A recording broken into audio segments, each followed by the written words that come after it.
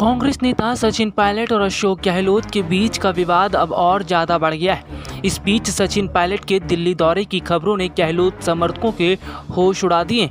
इसके साथ ही पार्टी आलाकमान सोनिया गांधी के भी पसीने छूटते जा रहे हैं। आपको बता दें कि सचिन पायलट अब पूरी तरह से बगावत पर उतर आए हैं और सुलह कमेटी के काम न करने पर बहुत ज़्यादा नाराज़ बताए जा रहे हैं। दरअसल सचिन पायलट का दिल्ली दौरा बहुत कुछ सियासी संकेत दे रहा है। अगर सचिन पायलट की नाराज़गी दूर नहीं होती तो वो पार्टी का साथ छोड़ने में अब बिल्कुल भी देरी नहीं लगाएँगे, क्योंकि जिस तरह से सचिन पायलट को पार्टी आला कमान सोनिया गांधी ने शुरू से ही दरकिनार करके रखा है और राजस्थान के मुख्यमंत्री अशोक गहलोत को ज़्यादा तवज्जो दिया गया है। ये बात शुरू से ही सचिन को पसंद नहीं थी, लेकिन अब तो पानी सिर से ऊपर जाता दिखाई दे रहा है और सचिन के इस कदम से सोनिया गांधी समेत अशोक गहलोत के भी पसीने छूटते जा रहे हैं। अब देखना ये होगा कि नाराज़ सचिन पायलट को मनाने के लिए पार्टी आलाकमान क्या करती हैं।